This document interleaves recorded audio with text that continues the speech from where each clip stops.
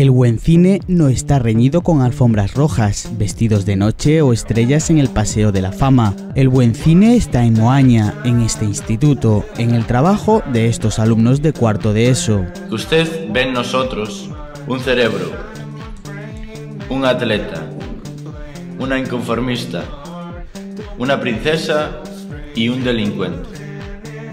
¿Correcto? La idea de utilizar el recurso audiovisual en el aula de plástica eh, surgió un poco, pues bueno, porque teníamos medios, pocos, pero algunos. Eh, dije, voy a probar a trabajar, además a mí me gusta probar siempre cosas nuevas en el aula, no quedarme siempre haciendo lo mismo. Entonces hay que inventarse. Yo creo que la enseñanza es un poco para buscar siempre recursos nuevos, inventarse cosas nuevas y motivar sobre todo a los alumnos, que son la parte importante de nuestro trabajo.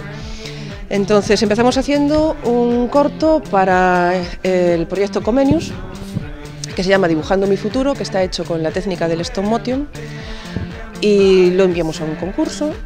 Quedó tercero eh, entre 215 vídeos de 215 institutos y dado que los alumnos estaban muy motivados, decidimos, un poco a la aventura, hacer una película.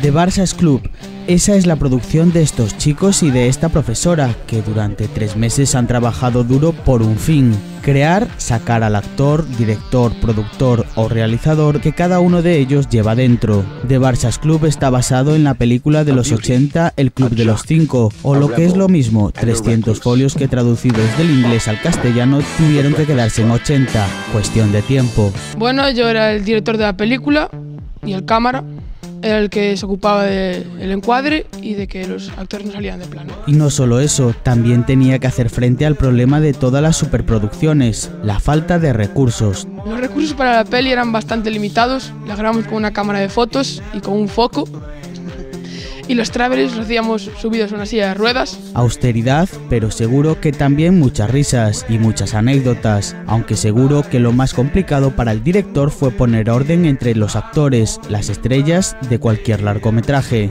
Yo hice el papel de director en el que castigaba a unos alumnos por diferentes motivos y les impongo unas etiquetas según su comportamiento y lo que van a ser en el futuro.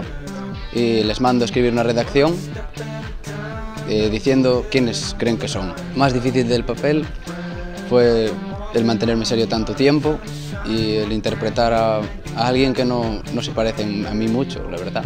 El guion recrea una situación en la que los estudiantes se encuentran castigados en el aula de plástica todo un sábado. Al principio de la película apenas se conocen y ni siquiera se gustan. Poco a poco la situación empieza a cambiar, aunque eso lleve su tiempo.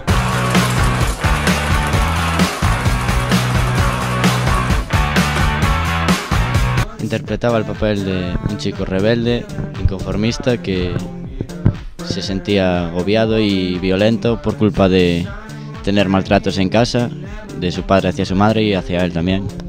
Y la descargaba su rabia contra sus compañeros. Un momento en el que más me costó interpretar fue cuando tenía que hacer el papel de mi padre pegándole a mi madre y él pegándome a mí. Y al lado de todo chico rebelde siempre tiene que haber una joven guapa y atractiva. Esa era Claudia. Yo interpreté el papel de pija, que, está castigada por falta de clase por ir de compras y solo se, solo se preocupa por su ropa, su vestimenta, su físico y el resto de la gente le da igual. Y bueno, al final acaba cambiando y al que no soporta, que es el rebelde, eh, le acaba gustando. Demasiadas tomas falsas porque me daba risa todo el rato y nada, me lo pasé genial y conocí mejor a mis compañeros.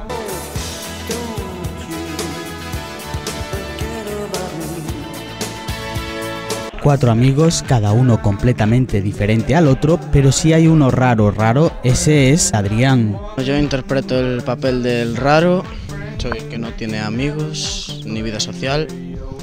Eh, en la película lo que más me costó fue lo del dedo, aunque tiene un poco de truco, pero... Y la caspa, bueno, eso de que salgan meteoritos de la cabeza tiene también su explicación. En el dedo yo cogí con un hilo y como no se me daba ponido morado, pues lo pintamos un poco porque no salía. Se ponía lila pero no se notaba. Y después para caspa tuvimos que...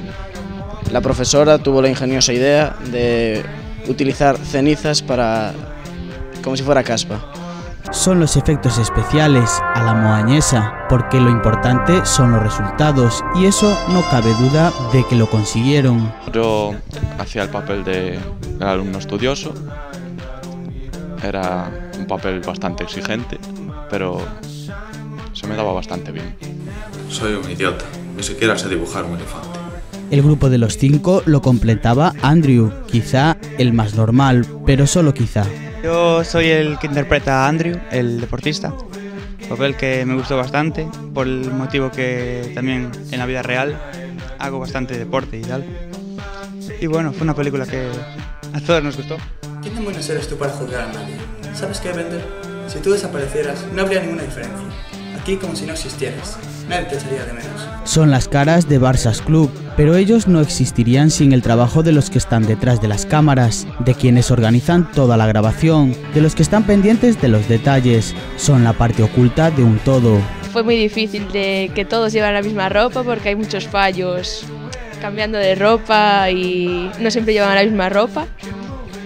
Y de subir por las mesas para poner los contrapicados y los picados y detrás de las cámaras. La ropa la teníamos que dejar siempre aquí para siempre tener la misma, pero nos la habían robado y no pudimos grabar. Y entonces tuvimos que grabar con otros pantalones diferentes y eso todo sale en la película. Eh, aparte de detrás de las cámaras, porque no me gusta salir en las cámaras, también fui la madre de, de la pija y la llevaba al instituto y salgo yo. Yo te recompensaré, hija, toma la tarjeta. Por faltar un día por ir de compras no es una falta grave. Todos los que han visto son alumnos de cuarto de la ESO, excepto él. Gael cursa primero de bachillerato, pero no dudó ni un momento en ayudar a sus compañeros con sus conocimientos de interpretación. Bueno, yo les decía un par de pautas y sinceramente la clase se daba como se podía dar, no, no tenía ningún tipo de control sobre la clase y todo era improvisado.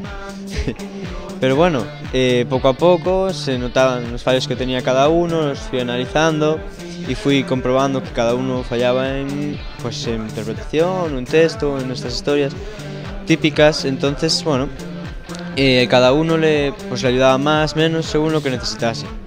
Luego, bueno, pues eh, tuve que hacer un cameo por allí, pero de un personaje, pero bueno, de un minuto no, no fue muy importante, la verdad, pero bueno. Gracias a él y también al empeño, la perseverancia y la ilusión de este grupo de jóvenes promesas, el cine ha sorprendido una vez más. Quien dice que el día de mañana ella deje la pizarra por el sillón de dirección y ellos pongan su huella en el paseo de Moaña.